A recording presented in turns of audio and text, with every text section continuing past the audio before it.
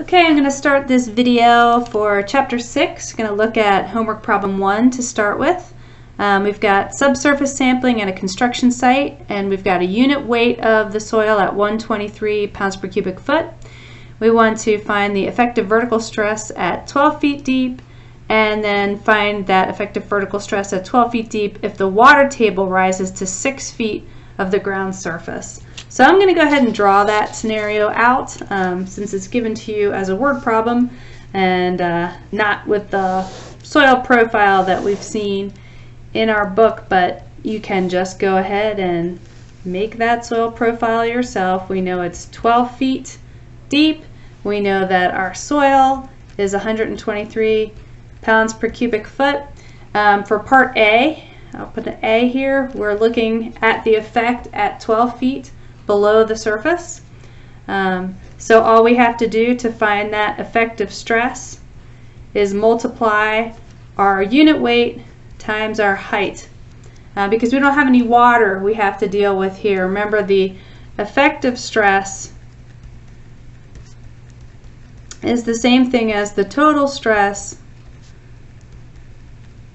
minus the pore pressure. But when we don't have any water, uh, we're not going to have any pore pressure that we need to subtract out, so it's they're just are really equal here. So we'll call that 123, and I'll write it this way, pounds per cubic foot for the units. And then we're going to multiply that by 12 uh, feet. And when I have this feet in the numerator and this feet in the denominator, that's going to cancel and we'll cancel out one of those so that'll become feet squared. And when I go ahead and do that math, I wind up with 1476. And I can write that as pounds per feet squared, or I could write it 1476 PSF for an abbreviation. And we know that our units um, for these vertical effective stress, it's always going to give me in pounds per square foot. All right, for part B, again, we're looking for our effective vertical stress. At the bottom of this layer, we've got a bit of a change in scenario here. We'll draw this in here. This time, we've got a water table, and it is six feet from the surface. So we are going to have some pore pressure here from this part of the layer that has water in it. So to handle this the way we were handling it in class, we can break this into a couple different layers. We'll call the top one sigma 1 and that's the dry part. There's no water at the top. That's handled just the way we handled part A. But then we're also going to have to have a, a, sigma 2 part of here, which is underneath the water table. That's my wet part. And I'm going to have to make sure that I'm subtracting out the pore pressure from that wet section. So in this case, my effective vertical stress is going to be the sum of those two uh, sections. And in this case, sigma 1, just like before, is going to be my gamma of my soil times H, which is just, this time, 123 pounds per cubic foot times 6 feet, because I'm just going halfway down. That's the only part that's dry, is halfway down that. And that's 738 pounds per square foot.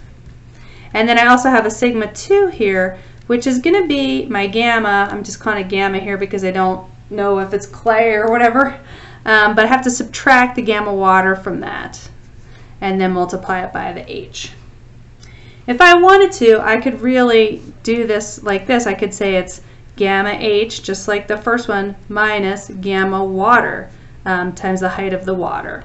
So I just sort of like to put it this way because it saves me a step of having to do more multiplication. Remember, with your distributive property, these two are equivalent expressions. All right, so in this case, my gamma is 123 pounds per cubic foot, and I'm subtracting 62.4 pounds per cubic foot, and I'm multiplying it by that whole height of that wet layer, which is 6 feet. And I go ahead and put that in my calculator. Remember when you're doing this in your calculator, you want to make sure you do what's in the parentheses first. So 123 minus 62.4 and then I'm just going to multiply that by 6. And that gives me 363.6. So put that in here.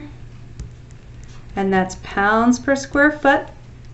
And then to find my effective stress at point B, I'm just going to add up that sigma 1 and sigma 2, which is 738 PSF plus 363.6 PSF.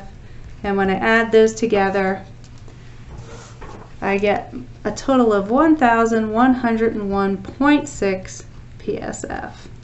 So let's just take a look at what we got here for answers. When we did uh, part A, we wound up with a higher effective stress than we did for part B. And if we think about it, that makes sense because part A was totally dry. We didn't have to subtract out any effect of the water, any pore pressure.